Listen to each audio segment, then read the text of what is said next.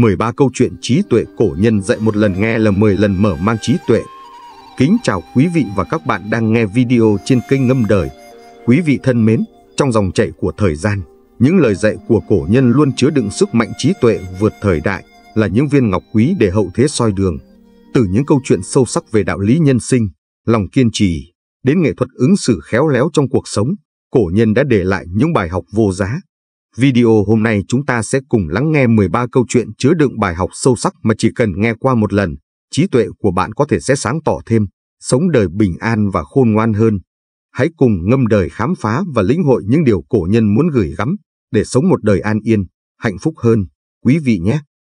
Câu chuyện thứ nhất, cổ nhân dạy rằng đời người có ba việc nhất định không nên làm. Mỗi một câu chuyện hay một lời nói của cổ nhân đều là những kinh nghiệm được đúc kết ra từ các hiện tượng, sự việc có thật xảy ra trong một thời gian lâu dài, là những bài học vô cùng quý giá cho hậu thế. Trải qua hàng ngàn năm, người xưa đã đúc kết lại cho hậu thế những bài học đối nhân xử thế vô cùng hữu ích. Dưới đây là lời khuyên của cổ nhân về ba việc nhất định không nên làm trong cuộc đời mỗi người. Một, Việc đi đường tắt, đừng làm. Tăng Quốc Phiên là một vị quan nổi tiếng của triều đại nhà Thanh. Những tư tưởng và tu dưỡng của ông đã cổ vũ khích lệ cho hậu thế. Nhưng tư chất bẩm sinh mà trời ban cho ông lại không được cao, hay nói đúng hơn là rất kém. Mặc dù tư chất bẩm sinh không được thông minh, nhưng đối với chuyện học hành, ông rất kiên trì, không đi đường tắt. Nếu không đọc thuộc câu trước, ông sẽ không đọc tiếp câu sau, không đọc xong quyển sách này, ông sẽ không sở đến quyển sách kia. Mặc dù Tăng Quốc Phiên thi tú tài 9 năm mới đỗ đạt, nhưng nút thắt vừa được khai thông thì con đường phía sau của ông ngày càng thông thuận. Năm trước đỗ tú tài thì năm sau ông trúng cử nhân, 4 năm sau, ông lại thi đỗ tiến sĩ. Trong khi những người bạn của ông đi học rất sớm nhưng sau này chẳng ai đỗ đạt cử nhân hay thi đỗ tiến sĩ. Trong đánh giặc, Tăng Quốc Phiên cũng không dùng kỹ xảo, không đi đường tắt. Mỗi lần quân của ông đi đến đâu đều xây dựng cơ sở tạm thời, đem nhiệm vụ tiến công biến thành nhiệm vụ phòng thủ. Mỗi lần quân của ông chiến thắng, tính ra phải mất thời gian cả năm mà không phải hai, ba tháng. Phương pháp đánh của Tăng Quốc Phiên bị không ít người đánh giá là ngốc nghếch nhưng kết quả lại vô cùng hữu hiệu. Tăng Quốc Phiên cho rằng, những thành công mà ông đạt được là nhờ vào sự dụng tâm chuyên nhất, không đi đường tắt. Bởi vì ông quan niệm rằng, người ngốc nhất thiên hạ có thể thắng được người khôn khéo nhất thiên hạ. Trong cuộc sống của chúng ta cũng vậy, đừng dùng đường tắt để đạt được thành công hay được một thứ gì đó. Một người muốn đạt được thành công nhất định phải trả giá, phải dành thời gian, tâm huyết để làm thì thành công ấy mới được bền vững lâu dài. 2. Việc tổn hại người khác, đừng làm. Ác quan Chu Hưng dưới thời Võ Tắc Thiên cũng thành danh nhờ ngụy tạo án oan mưu phản. Khi ông ta đương chức cũng dùng cách bức cung nhục hình vô cùng tàn khốc, gây ra vô số án oan, hàng ngàn người bị ông ta hãm hại. Sau này, Chu Hưng cũng lại bị kẻ khác tố cáo là tạo phản. Khi Chu Hưng bị tố tạo phản, người xét xử ông ta là một ác quan khác, tên là Tuấn Thần. Trước đây trong một dịp Tuấn Thần ngồi ăn cùng Chu Hưng có xin thỉnh giáo Chu Hưng về phương pháp ép phạm nhân nhận tội. Chu Hưng hãnh diện nói, việc này không khó, chỉ cần đệ bỏ phạm nhân vào cái chum to rồi châm lửa đốt xung quanh thì lo gì hắn không nhận tội. Sau này khi đến lượt Tuấn Thần xét xử Chu Hưng, đã nói, đệ phụng theo mật chỉ, nói có người tố cáo huynh mưu phản, mời huynh vào chum đi. Chu Hưng vừa nghe bốn chữ mời huynh vào chum thì hồn bay phách lạc, toàn thân mềm nhũn, liên tục dập đầu nhận tội. Câu chuyện này về sau nổi tiếng và được người dân dùng cụm từ gậy ông đập lưng ông để miêu tả. Bởi vậy, cổ nhân khuyên rằng những việc làm tổn hại người khác thì đừng làm. Nếu không, kết cục của việc ấy cuối cùng là hại chính mình. 3. Việc chiếm lợi của người khác, đừng làm. Người ham chiếm lợi của người khác thường thường cuối cùng sẽ bị thiệt thòi lớn, bởi vì trên đời không có mất thì không có được. Đời người phải hiểu được rằng muốn có hồi báo thì phải có trả giá. Những người già thường hay khuyên nhủ con cháu chịu thiệt là phúc, bởi vì họ biết rõ hết thảy phúc, lộc, thọ ở thế gian con người đều là đổi từ đức mà ra, mà chịu thiệt lại có thể tích đức. Cổ nhân hiểu rằng, đời người trong họa có phúc, trong phúc có họa, không mất thì không được, được thì phải mất. tả Tông Đường, danh tướng triều nhà Thanh từng nói, hảo tiện nghi giả, bất khả giữ chi giao tài, tức là người luôn chiếm lợi của người khác thì không thể giao tài vật cho người đó, không nên kết giao với người như vậy. Người luôn chiếm lợi về mình sẽ khiến người khác đề phòng, từ đó mất đi nhiều cơ hội và nhân duyên. Cuối cùng khi được chẳng bù nổi cho cái mất. Câu chuyện thứ hai, ba điều người trí tuệ nhất định không nói. Lời nói xuất ra từ tâm nên người thiện tâm không dễ dàng nói lời cay nghiệt làm tổn thương người khác. Lời nói còn xuất ra từ phẩm cách và tri thức nên một người nói lời gì, nói như thế nào cũng là thể hiện ra phẩm cách, tri thức và trí tuệ của người ấy. Một người có tu dưỡng, có tri thức sẽ không nói ba điều sau. Một, lời không có giá trị, không nên nói. Cổ nhân có câu, phu nhân bất ngôn, ngôn tất hữu chung, không nói thì thôi, đã nói tất nói đúng. Trong cuộc sống, có rất nhiều người thường hay nói những lời mua vui, khách sáo trống rỗng, thêm mắm thêm muối, không có giá trị. Những lời nói ấy không những không đem lại điều gì tốt mà còn có thể tạo nghiệp. Mặc tử là nhà tư tưởng nhà chính trị gia thời Xuân Thu Chiến Quốc. Một lần, học sinh của ông là tử cầm hỏi ông, thưa thầy, nói nhiều tốt hơn hay là nói ít tốt hơn? Mặc tử trầm ngâm một lát rồi trả lời. Lời nói quá nhiều thì có gì là tốt đâu. Ví như ếch xanh ở trong hồ nước, cả ngày lẫn đêm đều kêu gọi không ngừng khiến cho chính lưỡi và miệng của nó đều bị khô mà lại còn không có ai để ý đến và yêu thích nó. Nhưng con gà trống thì khác, trời hừng sáng gáy gọi hai, ba tiếng thì mọi người liền thức dậy, còn cảm ơn nó, bởi vì tiếng gọi của nó là thích hợp hữu ích. Cho nên, nói chuyện thì nên học theo gà trống, đừng nên học theo ếch xanh. Người không nói lời vô nghĩa thường là người có lực kiểm soát, khống chế bản thân rất mạnh. Người nói chuyện, làm việc hiểu được phải sáng tỏ, rõ ràng có lẽ không nhiều lắm, nhưng rất đáng giá tán thưởng. Cho nên, nói lời đừng nên nói lời vô nghĩa, nên nói vừa phải và thích hợp. 2. Lời nói phô trương, khoe khoang. Lão Tử nói, người không tự cho mình là đúng thì trí óc mới có thể sáng suốt, người không khoe khoang thì công trạng của họ mới có thể được khẳng định, người không kiêu ngạo thì sự nghiệp mới có thể phát triển. Cố ung triều nhà Hán dù được phong chức tước đã ba ngày nhưng người nhà không một ai hay biết. Trận chiến phì thủy lừng danh trong lịch sử, quân Đông Tấn chưa đến 10 vạn binh sĩ đã đánh bại 100 vạn binh sĩ dũng mãnh của quân Tiền Tần. Tin chiến thắng được truyền đến lúc chủ soái Tạ An đang chơi cờ vây với khách mà người khách không hề hay biết. Triều nhà Tống, hiền thần Văn Ngạn Bắc dù có công lớn trong việc xác lập ngôi kế vị cho thái tử nhưng khi thái tử lên làm vua, ông chỉ nói tất cả đều là công lao của Hàn Kỳ. Đức hạnh khiêm tốn, không nhận công lao của ông khiến Hoàng thượng cũng kính phục. Danh thần tả tông đường cuối nhà Thanh là người nổi tiếng có bản lĩnh. Ông từng lập công thu phục Tân Cương, lập rất nhiều công trạng. Nhưng ông lại là người có tật xấu, đó là thường khoe khoang về những chiến công của mình. Mỗi khi có người tìm đến nhờ ông về việc công hay việc tư, ông đều nói dăm ba câu khoa trương, khiến sự tình trở nên rắc rối, làm cho người hỏi không biết phải làm sao. Tuy rằng tả tông đường quả thực có công lao rất lớn, nhưng những công lao mà ông tự thổi phồng lên cũng có. Chính vì thế, ông cũng bị nhiều người lên án và không kính trọng. Cổ ngữ có câu, thiên bất ngôn tự cao, địa bất ngôn tự hậu, trời không nói tự cao, đất không nói tự dày. Người thực sự có học thức, có trí tuệ, có hàm dưỡng, thì không cần mở miệng khoa trương bản thân, người khác cũng tự cảm nhận được. 3. Lời nói vạch trần thiếu sót của người khác. Trên thực tế, vô luận là người có nhân cách cao thượng đến mức nào đi nữa đều có thiếu sót, điểm khuyết thiếu của mình. Vô luận người có bao nhiêu khoan dung độ lượng đi nữa đều có tự ái của riêng mình.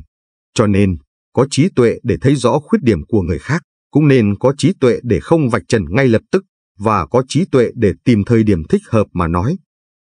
Trong cuốn Thái Căn Đàm viết, bất trách nhân tiểu quá, bất phát nhân âm tư, bất niệm nhân cựu ác, thử tam giả khả dĩ dưỡng đức, diệt khả viễn hại, ý nói không trách móc sai lầm của người, không vạch trần lỗi của người, không nhớ tội của người thì có thể dưỡng đức và rời xa tai họa. Cho nên, trong cuộc sống, đừng tùy tiện chạm đến lòng tự ái của người khác.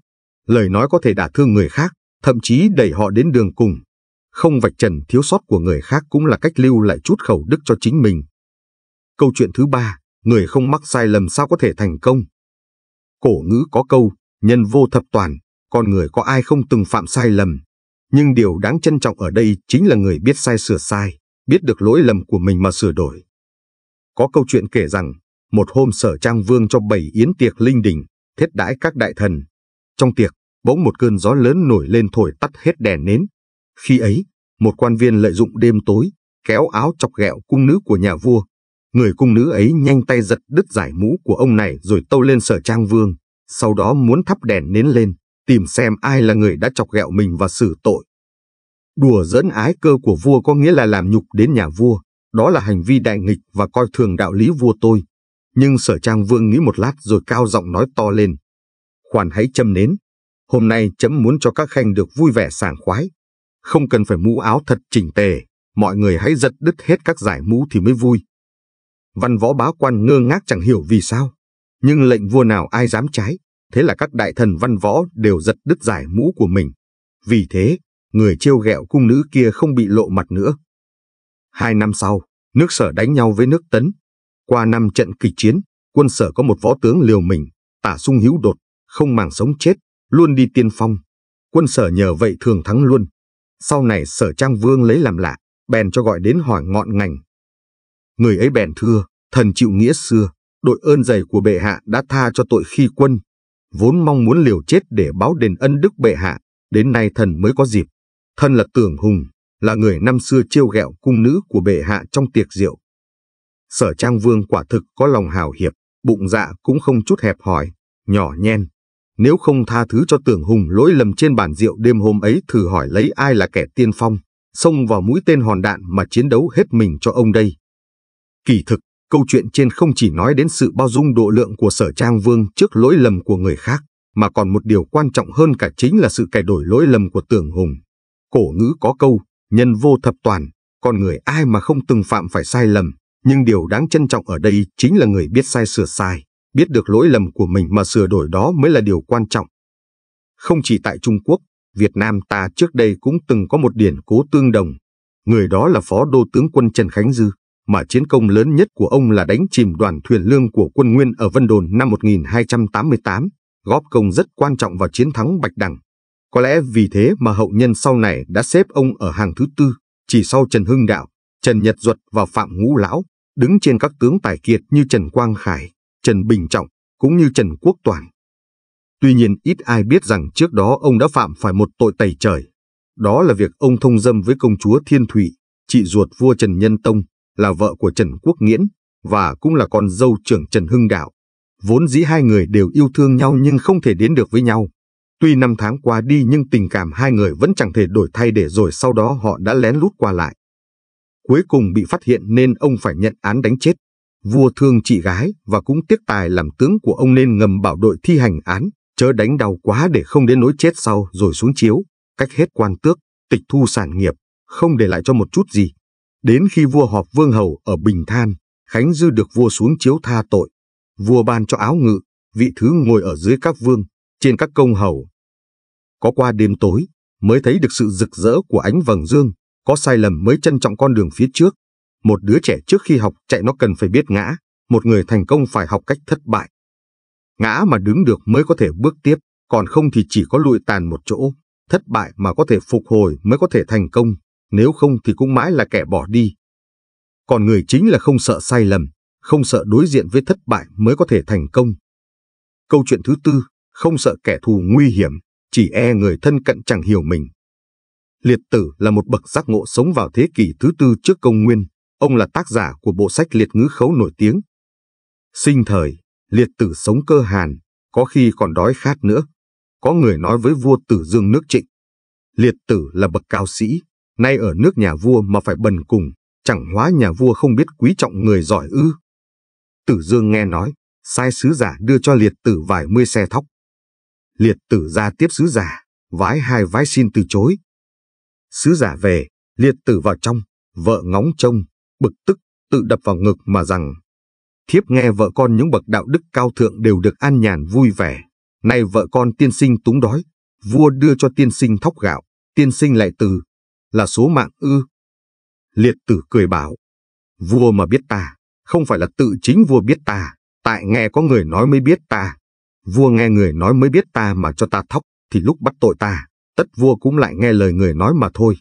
Vì thế ta không nhận thóc, và chăng, chịu bổng lộc của người, hoặc khi người mắc hoạn nạn, không liều chết giúp người là bất nghĩa, mà nếu liều chết giúp kẻ vô đạo thì lại còn nghĩa lý gì nữa. Tử Dương sau quả bị nạn mà chết. Liệt tử, tức liệt ngự khấu là một bậc giác ngộ sống ở thế kỷ thứ tư trước công nguyên. Tư tưởng của ông giống với lão, Trang. Ông có bộ sung hư chân kinh được đánh giá cao không kém gì đạo đức kinh của lão tử hay nam hoa kinh của Trang tử. Tuy nhiên, tên tuổi của ông ít phổ biến hơn. Thông thường, bậc đắc đạo sống nơi trần thế thường nghèo vật chất, ít nhất đấy là dưới con mắt của người trần. Nghèo nhưng không khổ, Đấy là lời của trang tử đáp ngụy Vương. Bởi cái nghèo của bậc đắc đạo là bởi họ đã ở cảnh giới coi nhẹ mọi thứ thân ngoại chi vật. Cái ý nghĩa của đời sống đã đặt lên những mục tiêu cao thượng của đời sống tinh thần khác với người thường. Cho nên, người thường thiếu thốn thì khổ, đói lạnh cũng khổ, tị bỉ với người khác cũng khổ. Còn họ thì không. Nhưng một ông liệt tử chưa lên tiên thì vẫn có bà vợ phải chu cấp, có gia đình để săn sóc nên dù sao cái ngoại cảnh ấy cũng cản trở ông đạt đến hoàn toàn vô vi. Tuy vậy, cái tâm bất động của bậc đạo cao làm sao người thường, kể cả thân thích có thể lay chuyển được. Nhờ thế, bà vợ ấy thêm được một bài học. Bài học khôn ngoan ấy là không bao giờ bán mình cho một kẻ không biết mình. Nếu mình có tài năng, nhân phẩm thì không bao giờ phải lo nghèo đói mãi. Ngược lại, kẻ kia không đủ sáng suốt, không có đức hạnh để nhìn ra tài năng, đức hạnh của mình thì theo kẻ ấy mà làm gì? Nguyễn Du viết, anh hùng đoán giữa trần ai mới già là để nói về con mắt xanh của Kiều dành cho Tử Hải. Có nghĩa rằng kẻ nhìn ra được tài năng của người khác cũng chính là một người có tài năng, có sự sáng suốt. Vì anh hùng trọng anh hùng và chỉ tài năng mới thấy được tài năng.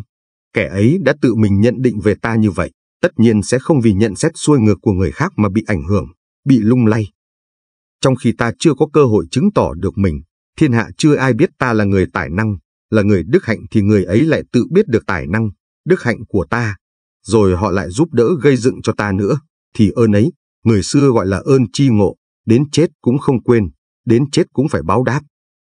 Như Gia Cát Lượng khi chỉ mới là một người áo vải làm ruộng ở Nam Dương mà Lưu Bị không quản đường xa dặm thẳm, ba lần đến tận lều tranh để vời về làm thầy mình.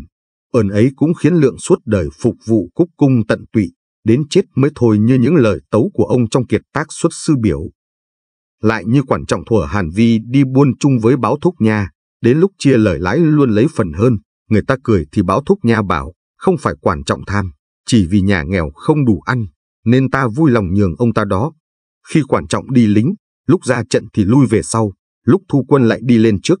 Ai cũng cười là nhát thì báo thúc nha nói, quản trọng không nhát, chỉ hiềm ở nhà con mẹ già, phải giữ thân còn phụng dưỡng mẹ. Báo thúc nha lại hay nói rằng, Quản trọng chưa thành công là vì chưa gặp thời. Nếu gặp thời thì trăm việc thành cả trăm. Quản trọng nghe vậy than rằng, sinh ra ta là cha mẹ, hiểu ta là báo thúc nha. Những người tài giỏi, sáng suốt và có đạo đức họ nhìn ra ta, thì có bán mạng cho họ cũng đáng. Ngược lại, những kẻ cầm quyền ngu ngốc chẳng qua nghe kẻ khác tán tụng bùi tai thì mới cho mời mình. Thế thì, khi họ lại nghe lời sàn tấu thì ta lại thành kẻ có tội. Gió lại xoay chiều, vì họ đâu có đủ sáng suốt mà biết thực sự ta là người thế nào. Người xưa có câu, vô công bất thụ lộc, tức là không có công lao đâu dám nhận bổng lộc.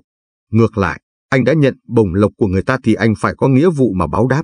Như quan vân trường lúc cực chẳng đã phải nương nhờ Tào Tháo.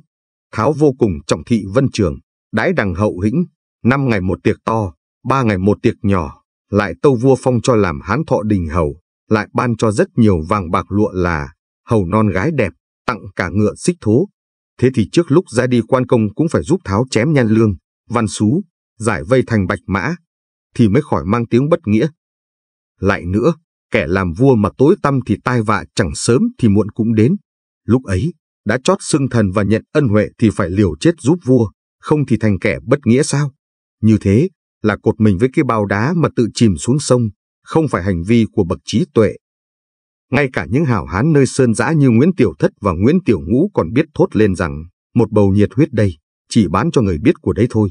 Thế thì, bậc đạo cao đức trọng như liệt tử hẳn là không bao giờ cúi mình phục vụ những kẻ không biết người biết của.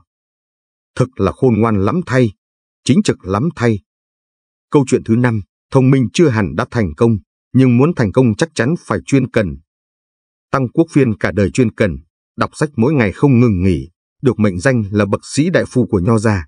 Cả một đời ông đã viết rất nhiều sách đối nhân xử thế, không ít tác phẩm được liệt vào hàng sách quý mà người đời trân trọng. Tăng Quốc Phiên tự đặt cho mình 12 quy tắc làm người, trong đó có thể kể đến hai điều sau. Mỗi ngày đọc sách, ghi chép lại lời tâm đắc.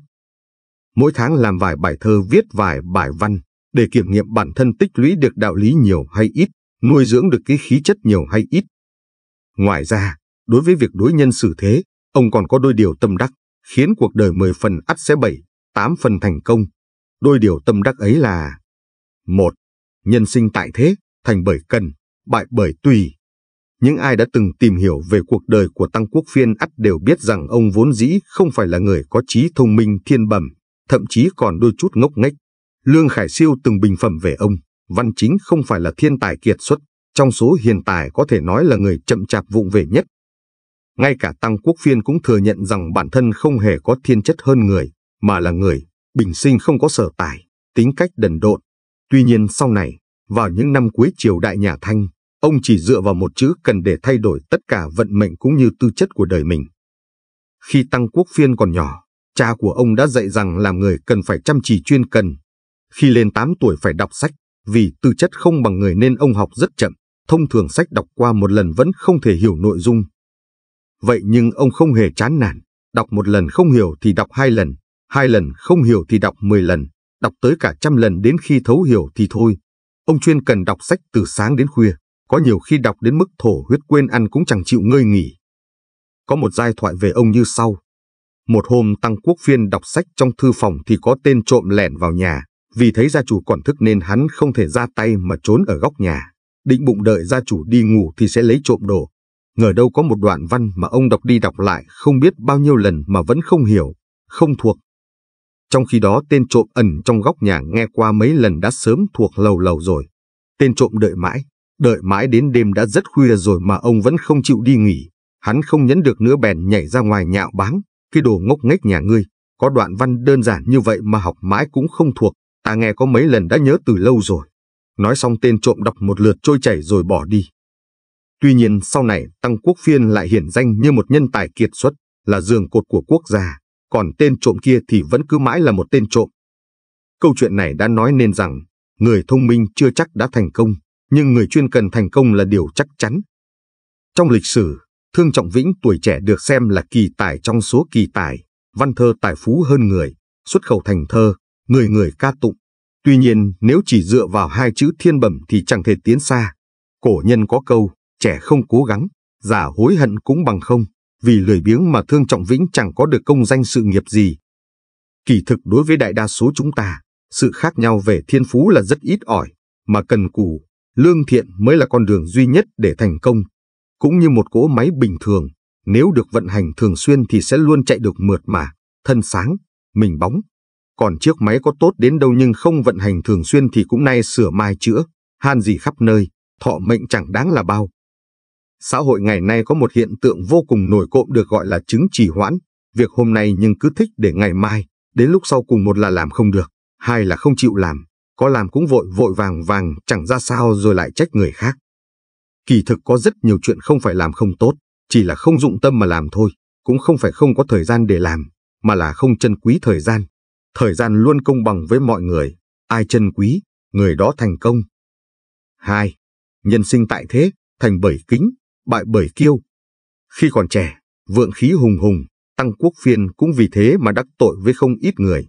Nhưng sau ngày cha mất, ông bỏ lại binh quyền và tước phẩm để về quê thụ hiếu hai năm. Trong hai năm chịu tang cha, tư tưởng của ông đã cải biến rất nhiều. Ông bắt đầu phản tỉnh chính mình. Đối với người khác ông chỉ để ý đến sở trường, điểm tốt của họ mà không chú tâm đến điểm yếu của người ta. Ông bắt đầu hiểu ra tầm quan trọng của việc khiêm nhường trong cuộc sống.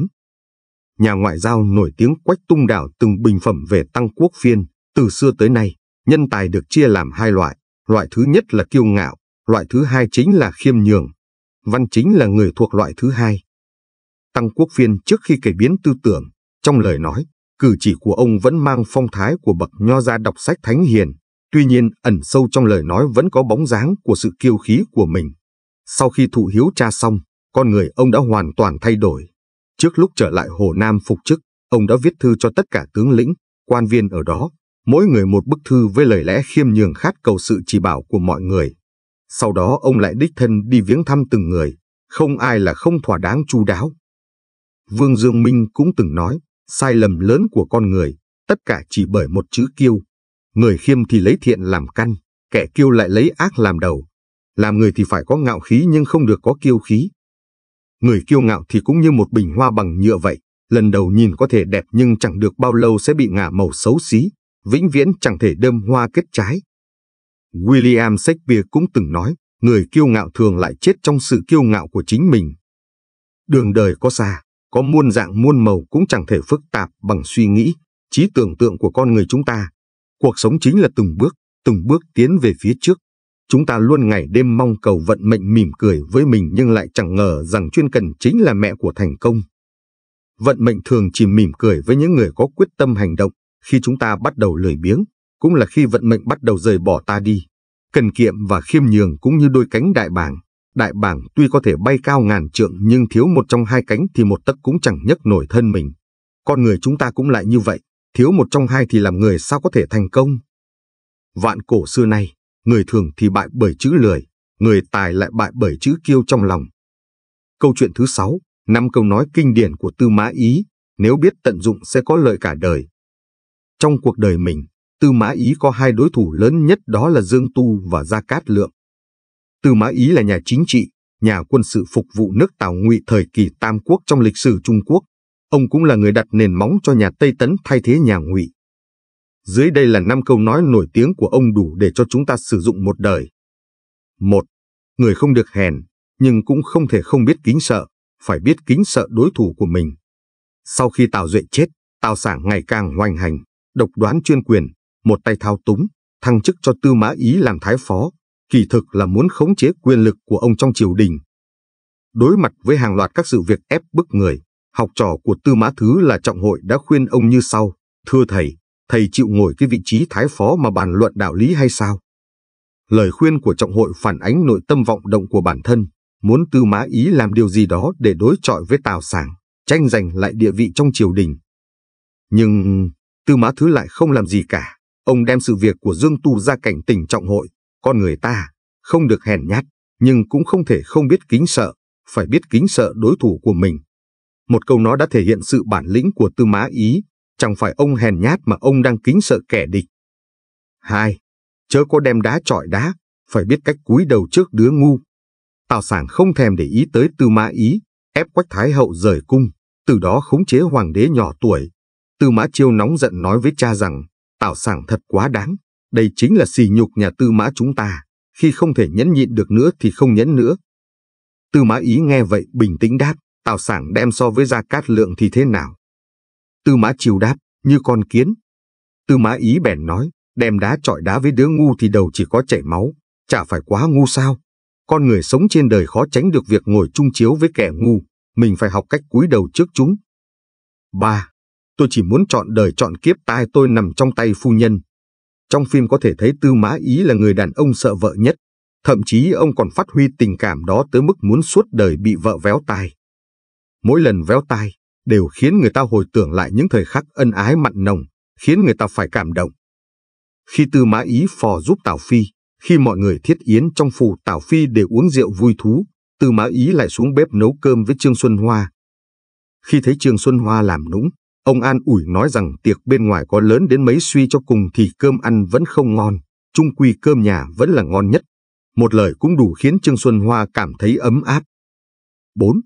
Thần trước giờ không có kẻ địch, chỉ nhìn thấy bạn bè và những người thầy. Trong cuộc đời của Tư Mã Ý có hai đối thủ lớn nhất. Khi còn phò giúp cho Tào Phi thì đối thủ lớn nhất là Dương Tu. Khi Dương Tu bị Tào Tháo xử tử, Tư Mã Ý chủ động xin Tào Tháo cho phép gặp Dương Tu. Tào Tháo hỏi nguyên nhân, Tư Mã Ý bèn nói rằng, thần trước giờ không có kẻ địch, chỉ nhìn thấy bạn bè và những người thầy. Câu nói của ông đã làm động lòng Tào Tháo. Đây là quy tắc xử thế và làm việc của Tư Mã Ý, Ông luôn có lòng kính trọng những đối thủ của mình như Gia Cát Lượng, Dương Tu, thậm chí còn không để tâm những người đã từng hại mình, cả một cuộc đời sống trong chữ hòa. Sau khi Gia Cát Lượng chết, Tư Mã Ý lấy nước thay rượu tế khổng minh, nước mắt tuôn trào. Nếu như không có con trai nhắc rằng quân nước ngụy đang đứng phía sau thì ông sẽ quỳ xuống mà tế lệ. Ông tế khổng minh rằng, ông một đời thanh bạch, giống như bát nước vậy. Tuy tôi với ông là địch thủ với nhau, nhưng tôi luôn coi ông là tri ân, khổng minh, để tôi kính ông một lời, tiên sinh.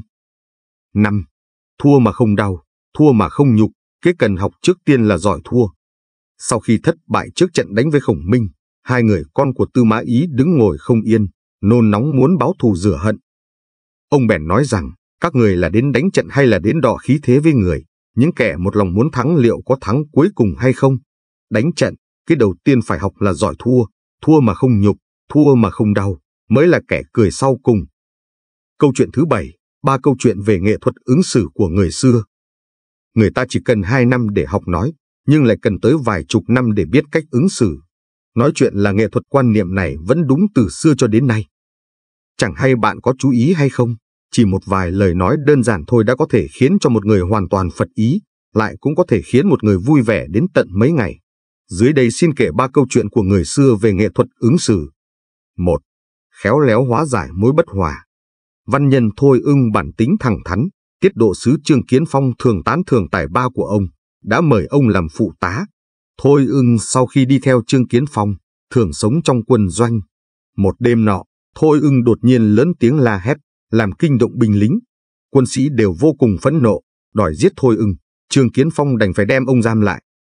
Hôm sau thiết yến, vị giám quân nói với Trương Kiến Phong, tôi và ngài sẽ có một giao ước, hai bên không thể làm trái. Trương Kiến Phong nói, được. Giám quân nói, tôi có một thỉnh cầu, tôi muốn được gặp mặt Thôi ưng. Trương Kiến Phong đáp, sẽ y theo lời giao ước. Ngừng một lúc, Trương Kiến Phong lại nói, ta cũng có một thỉnh cầu. Vì vừa được thỏa mãn nguyện vọng, giám quân vội đáp ngay, được. Trương Kiến Phong từ từ nói, ta không chấp nhận cho mời Thôi ưng. Nghe xong, mọi người xung quanh đều bật cười. Cuộc đối thoại của Trương Kiến Phong và giám quân có vẻ như đơn giản dễ hiểu, thế nhưng lại hàm chứa rất nhiều nghệ thuật. Trong quân doanh phải nghiêm túc tuân thủ quân pháp, nhưng Thôi ưng lại làm ồn vào giữa đêm, có thể gây sự chú ý cho kẻ địch hoặc làm loạn trong chính quân doanh. Vì thế, binh sĩ tức giận cũng là lẽ tự nhiên. Khi giám quân muốn Trương Kiến Phong thả Thôi ưng ra, nếu Trương Kiến Phong thuận theo thì binh lính sẽ không phục, nhưng bản thân Trương Kiến Phong cũng muốn thả Thôi ưng. Chính vì thế, ông đã biến câu chuyện thành một màn hài hước gây cười, có thể hóa giải hiềm khích của những người trong doanh trại. Sau sự việc này, Thôi ưng cũng tránh được việc bị trừng phạt. 2. Một câu nói khiến cả triều khâm phục.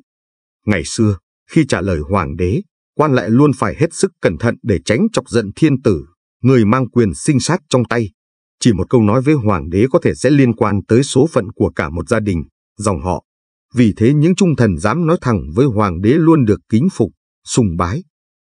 Tấn Vũ đế Tư Mã Viêm khi đang ngôi hoàng đế, muốn coi bói xem ngôi hoàng đế này sẽ được truyền đến bao đời.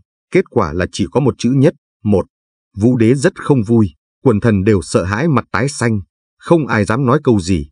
Đúng lúc đó, thị trung Bùi Khai đã tiến lên trước và nói, vi thần nghe nói, trời có một sẽ thanh minh, đất có một sẽ an bình, hầu vương có một sẽ có được sự ủng hộ trung thành của quần dân. Chỉ một câu nói ngắn gọn như vậy đã khiến vũ đế từ lo lắng chuyển sang vui mừng, quần thần từ đáy lòng đều cảm phục Bùi Khai. Năm 290, Tấn Vũ Đế qua đời, hưởng thọ 54 tuổi, được truy tôn miếu hiệu là Thế Tổ, thụy hiệu là Vũ Hoàng Đế. Mặc dù lúc đầu Tấn Vũ Đế là một vị vua anh minh, nhưng cuối đời ông lại xa vào tiểu sắc, tham lam vô độ. Ngay sau cái chết của ông, nhà Tấn bắt đầu suy yếu vì người kế vị là Huệ Đế không điều hành nổi triều đình. Trong khi đó, giả thị hoàng hậu giết đại thần, nắm đại quyền, lại làm các việc dâm loạn, khiến các hoàng thân đồng loạt nổi lên làm loạn, từ đó dẫn đến loạn bát vương và loạn ngũ hổ, đưa tới sự diệt vong của nhà Tây Tấn, tất cả chỉ khoảng 26 năm sau khi Vũ Đế mất. Có thể nói, quẻ bói không hề sai, nhưng Bùi Khai đã tránh cho các triều thần khỏi một phen lao đao hướng lửa giận của Tấn Vũ Đế. 3. Dân chúng đều biết, Hoàng đế không hay. Trong đường quốc sử bổ quyền thượng có ghi chép một câu chuyện rất thú vị như sau. Sau khi đường Đức Tông giáng chức gian tướng Lư Kỳ thì luôn nghĩ đến ông ta. Sau đó, Đức Tông lại muốn đề bạt Lư Kỳ, khiến các quan cảm thấy lo sợ, lần lượt đến khuyên nhủ hoàng đế. Đức Tông hỏi Lý Quát, Lư Kỳ có gì nham hiểm chứ? Lý Quát bèn trả lời, thiên hạ đều cho rằng ông ta gian tà, mà bệ hạ lại không hay biết, đây chính là sự nham hiểm của Lư Kỳ. Câu trả lời của Lý Quát có vẻ như rất đơn giản, nhưng thực tế lại vô cùng khéo léo. Ông tránh không đưa ra nhận định của bản thân, không liệt kê những tội lỗi hay sự xảo quyệt của Lư Kỳ, để tránh cho hoàng đế khó chịu. Ông lại đứng trên lập trường của thiên hạ, của người dân, mà lấy lời khuyên can thiên tử, hàm ý rằng từ xưa tới nay người đời luôn có thể phân biệt rõ chính thần và gian thần. Điều này đã cảnh tỉnh Đức Tông rằng sự sùng ái lư kỳ đã khiến hoàng đế mở mắt, không phân biệt được trung và gian nữa. Dân chúng đều biết, hoàng đế không hay, điều này thật sự là việc mà thiên tử không thể không quan tâm đến. Ngày nay, mặc dù người ta không có sức ép đứng trước thiên tử như xưa nữa, nhưng khi nói chuyện vẫn luôn phải chú ý lịch sự, khéo léo ứng xử. Dù sao thì một lời nói ra cũng thể hiện được mức độ tư duy và trình độ của bản thân. Nói chuyện thật sự là một môn nghệ thuật, không thể không thận trọng, không thể không học hỏi. Câu chuyện thứ 8, cổ nhân dùng cờ vây để dưỡng tính khí như thế nào? Trong lịch sử Trung Hoa có rất nhiều kỳ tích quân sự lấy ít thắng nhiều. Điều này không phải dựa vào sự ngẫu nhiên may mắn mà có liên quan rất nhiều đến tính khí của người chủ tướng. Trong trận chiến phì thủy, quân Đông Tấn với 7 vạn binh sĩ đã chiến thắng 100 vạn binh sĩ dũng mãnh quân tiền tần của Phù Kiên chính là ví dụ điển hình về kỳ tích lấy ít thắng nhiều. Kỳ tích này được lập nên như thế nào? Theo ghi chép trong tư liệu lịch sử thì sự huyền diệu đằng sau kỳ tích này là có liên quan đến cờ vây. Tạ An thản nhiên chơi cờ vây khi trận chiến đang diễn ra. Tiền tần Vương Phù Kiên dẫn đầu 100 vạn đại quân đánh chiếm Đông Tấn. Vương triều nhà Tấn lâm vào nguy hiểm khiến cả vua và dân đều hoang mang lo lắng. Lúc ấy, quân Đông Tấn chưa đến 10 vạn binh sĩ phải chống cự lại 100 vạn binh sĩ dũng mãnh của quân Tiền Tần. Tình thế không thể nói là không nguy kịch. Không giống như những người khác, Tạ An với thân phận là đại đô đốc phụ trách quân sự lại không một chút hoang mang lo sợ mà giữ tâm bình thản. Trước tình thế nguy cấp, Tạ An lại mời người bạn thân nhất của mình đến, lên núi thản nhiên chơi cờ vây. Trước tình thế quân sự vô cùng nguy cấp, Hoàn Sung, 328-384, người được xưng là Giang Biểu Vĩ Tài nhìn thấy Tạ An hoàn toàn không quan tâm đến quân tình nên lo lắng nói với tướng sĩ, Tạ An là người hiểu biết rộng nhưng lại không biết đánh giặc. Nhìn thấy đại quân đang ở vào tình thế vô vàn nguy hiểm mà vẫn có thể nhàn rỗi, thản nhiên chơi cờ. Triều đình phái một người không có kinh nghiệm gánh vác trọng trách lớn như thế, quả là dùng người sơ suất Hoàn Sung còn quả quyết rằng sự tranh lệch quá xa về binh lực như vậy chắc chắn khiến quân tấn đại bại trong giây lát. Thế nhưng, không ai ngờ, ngay tại thời khắc Tạ An đang du sơn ngoạn thủy, chơi cờ với bạn, ông đã bình tĩnh triệu tập tướng lĩnh, bố trí quân sự cơ mật. Đồng thời, ông còn thông báo cho Hoàn Sung tăng mạnh binh lực, phòng thủ phía Tây. Quân Đông Tấn và Tiền Tần đại chiến ở Phì Thủy, Tạ An bố trí sách lược đánh địch, khiến Đông Tấn chiến thắng Tiền Tần trong thế lấy ít thắng nhiều, thực sự là kỳ tích. Sau khi tin tức quân Đông Tấn chiến thắng truyền về, Tạ An vẫn đang thản nhiên chơi cờ. Ông nhìn lướt qua tin chiến thắng rồi tiện tay đặt tờ cấp báo sang bên cạnh, tiếp tục chơi cờ với vẻ mặt không đổi sắc. Trái lại, người khách đang chơi cờ với ông lại vội vàng hỏi, tình hình chiến sự dơ nào rồi? Tạ An chậm rãi nói, là bọn trẻ đã đánh thắng rồi. Phong thái bình tĩnh, không loạn của Tạ An được người đời bình luận rằng nó được luyện ra từ việc ông thường xuyên chơi cờ vây để tĩnh tâm. Vì sao cờ vây có thể dưỡng tĩnh khí? Vì sao thường xuyên chơi cờ vây lại có thể nung đúc ra khí phách bình tĩnh, không sợ hãi? Điều này là có quan hệ rất mật thiết với bối cảnh ra đời của cờ vây. Có rất nhiều truyền thuyết về nguồn gốc của cờ vây, trong đó có một thuyết được nhiều người công nhận là môn này được khởi nguồn từ thời nghiêu Đế. Trương Hoa, thời nhà Tấn đã viết trong sách Bác Vật Chí rằng vua Nghiêu nghĩ ra môn chơi cờ vây để dạy dỗ con trai đan chu của mình. Trong đó còn nói rằng, vua Thuấn cảm thấy con trai mình là thương quân không được thông minh lắm, cũng từng dạy dỗ con bằng cờ vây. là Bí thời đại nhà Tống viết trong lộ sử hậu ký rằng, phi tần của vua Nghiêu là Phú Nghi Thị sinh được một hoàng tử, đặt tên là Đan Chu. Hành vi của Đan Chu không được tốt, thích tranh giành, nên vua Nghiêu đã đi tìm những vị đạo tiên để hỏi về cách dạy con. Một hôm, ở gần bờ sông Phấn, vua Nghiêu nhìn thấy hai vị tiên đang ngồi đối diện nhau dưới gốc cây tùng. Ông nhìn thấy họ vạch những đường ngang dọc trên cát, rồi đặt những miếng đá đen trắng trên hình vẽ như đang bày trận đồ. Nhà vua tiến đến hỏi cách làm thế nào để có thể sửa đổi tính tình của Đan Chu. Một vị tiên nói, Đan Chu hay tranh giành mà lại ngu ngốc, hãy dùng những phương diện là sở trường của nó mà uốn nắn tính tình của nó theo con đường tốt. Còn vị tiên kia lấy tay chỉ những đường kẻ trên cát và các viên đá đen trắng rồi nói, cái này gọi là bàn cờ vây. Bàn cờ này có bố cục hình vuông mà yên tĩnh, trong khi những quân cờ hình tròn mà chuyển động. Nó đi theo cách vận chuyển của trời và đất. Từ khi bàn cờ vây được lập đến nay, chưa có ai có thể hoàn toàn phá giải được nó.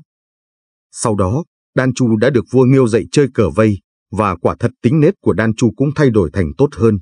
Bởi vậy có thể thấy, người xưa sáng tạo ra môn cờ vây để tu thân dưỡng tính, phát sinh và làm tăng thêm trí tuệ chứ không chỉ để làm trò vui. Càn khôn trong cờ vây Dựa vào nguồn gốc ra đời của cờ vây có thể thấy cổ nhân chơi cờ vây không phải để tranh thắng thua. Nếu bàn cờ tượng trưng cho vũ trụ, như vậy hai người đánh cờ có thể thông qua quan sát bố cục của bàn cờ, quan sát đường đi của quân đen và trắng mà ngộ ra dịch lý biến hóa của của hiện tượng thiên văn, thiên địa âm dương. Cờ vây Nhìn như một bàn cục nho nhỏ nhưng cổ nhân lại có thể dựa vào đó mà toán quái ra hiện tượng thiên văn, âm dương dịch lý, bày trận binh pháp. Cổ nhân thông qua cờ vây có thể câu thông với sự ảo diệu vô cùng của sự biến hóa trời đất. Họ cũng dựa vào đó để suy ngẫm lại bản thân mình, đạt tới cảnh giới thiên nhân hợp nhất. Tạ An có thể thành thơi chơi cờ, nét mặt không biến sắc mà bày trận, có thể khiến 7 vạn binh lực quân Đông Tấn chiến thắng 100 vạn quân tiền tần. Ẩn sau kỳ tích này chính là một loại công phu, một loại bản lĩnh mà cờ vây đã nung đúc cho ông. Câu chuyện thứ 9, luôn vui vẻ là một dạng bản lĩnh, càng buông bỏ tự ngã càng có được niềm vui. Niềm vui chân chính là một loại cảnh giới quên đi bản thân, cùng thiên địa vạn vật hòa là một, không gì trói buộc, tự do tự tại. Bởi vậy có thể sống ở hiện tại, buông bỏ bản ngã, là điều kiện tiên quyết để có thể được thấu tỏ kiếp nhân sinh. Trong tiền xích bích phú của Tô Đông Pha có câu, chỉ có ngọn gió mát ở trên sông cùng vầng trăng sáng trong núi, tai nghe thấy âm thanh, mắt trông thấy cảnh sắc, lấy mãi không hết, dùng mãi không cạn, đó là kho vô tận của tạo hóa, cũng là cái vui chung của người và ta. Người bình thường lúc đối mặt với biến cố lớn trong đời, thường sẽ u sầu phiền muộn, nhưng Tô Đông Pha lại lựa chọn buông bỏ bản ngã, quên đi được mất, trở về với tự nhiên. Ông dung hòa cuộc sống gian khổ thiếu thốn cùng với thiên nhiên, nhờ vậy đổi lấy được tinh thần thoải mái, tự do và vui sướng. Một người dù ở nơi nào, cuộc đời cũng không thể luôn thuận buồm xuôi gió, kiểu gì cũng có lúc gặp khó khăn, phiền não cùng thất bại. Khi đối mặt với trở ngại mà vẫn có thể duy trì tinh thần lạc quan phóng khoáng, tràn ngập tự tin, nhất định phải có sự tu dưỡng cao. Giữ một tâm thái vui vẻ giữa thế gian ồn ào náo nhiệt, có thể làm cho cuộc sống nặng nề, tầm thường trở nên nhẹ nhõm, vui tươi, thậm chí khiến cho thời gian cực khổ cũng trở nên ngọt ngào quý giá. Nghiên cứu khoa học cũng chứng minh, người có tấm lòng cởi mở, rộng rãi thì tinh thần thanh tĩnh, sống năng nổ hoạt bát, khỏe mạnh trường thọ. Lạc quan xuất phát từ nội tâm mạnh mẽ. Tâm làm chủ thân thể và mọi thứ, khi tâm ổn định, không bị lay chuyển bởi yếu tố bên ngoài, thì trí tuệ sáng suốt sẽ xuất hiện. Mọi người đều khát vọng có một nội tâm mạnh mẽ, nhưng để có được nó, phải trải qua rèn luyện thậm chí đối mặt với khó khăn. Vương Dương Minh nhà tư tưởng, nhà văn, nhà triết học nổi tiếng đời Minh là ví dụ tiêu biểu nhất. Vương Dương Minh không chỉ thông hiểu đạo khổng, đạo Phật, đạo lão, mà còn có thể cầm quân chinh chiến, là nhà nho toàn năng hiếm thấy trong lịch sử Trung Hoa. Nhưng cả đời ông phải trải qua bao chắc trở, bị tra tấn, hạ ngục, bị giáng đi long trường, công cao bị đố kỵ, bị vu là mưu phản, có thể nói nhận đủ loại đầy đọa trên đời. Những chuyện này nếu gặp người thường, không chừng đã sớm đau buồn mà chết rồi. Nhưng Vương Dương Minh lại luôn duy trì thái độ tích cực lạc quan. Lúc ở Long Trường, một nơi heo hút bóng người, tùy tùng đi theo ông đều lần lượt bị bệnh, chỉ có mình ông bình yên vô sự. Vương Dương Minh nói, ta ở Long Trường hai năm, cũng bị độc chứng xâm hại, nhưng vẫn có thể giữ vững thân thể và tinh thần. Đó là bởi vì ta không bi quan, ấm ức giống những người khác. Khi ở Kiền Châu, Trần Cửu Xuyên đổ bệnh, Vương Dương Minh nói, phải lạc quan khi đối mặt với bệnh tật là một việc khó, ông cảm thấy thế nào? Trần Cửu Xuyên nói, đó chính là một loại bản lĩnh, thực sự rất khó. Vương Dương Minh nói, thường xuyên giữ tâm tình vui vẻ, lạc quan, chính là có bản lĩnh. Đối với Vương Dương Minh, giữ gìn thân thể và tinh thần khỏe mạnh không phải là thiên phú, mà là một loại năng lực, loại năng lực thông qua trí tuệ cùng rèn luyện mà có. Vương Dương Minh bằng chính trí tuệ của mình, trong nghịch cảnh vẫn giữ tâm thái vui vẻ, sống sót ở vùng đất đầy độc trướng.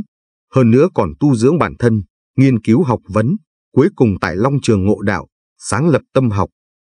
Người đời phần lớn quá chấp nhất với vật chất hữu hình, lại xem nhẹ sức mạnh vô hình, cho nên khó thoát ra khỏi vũng bùn của khó khăn và thất bại. Bảo trì được sự lạc quan, tự tin, nội tâm vững vàng mới có thể khiến ta hướng tới tương lai tươi sáng.